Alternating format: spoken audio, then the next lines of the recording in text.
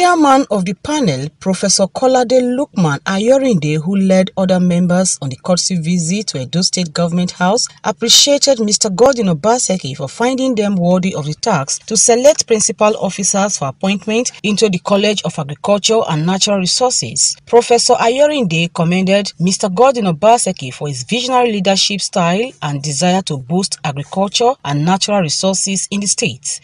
I can assure you that we put in our very best to ensure that the best candidates are recommended for your consideration, sir.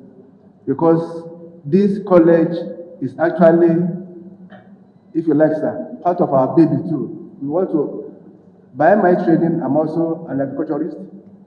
So I also see it as part of what I owe Edo State to see that this goes on. So we are all determined that the best candidates will be recommended because of what has been put in place, the guidelines that we are also uh, trying uh, to follow. In his remarks, Governor Obaseki expressed gratitude to members of the panel for a credible job. He stressed that Edo State was part of the western region with a reputation of contributing to the development of the country through agriculture.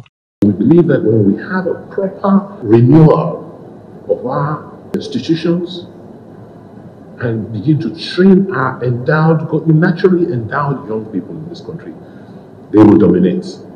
They will dominate the subcontinent or even the world as they have always done throughout history. The assurance I want to give you is that whatever you come up with, which I trust will be so professionally and well considered, is what we'll go with.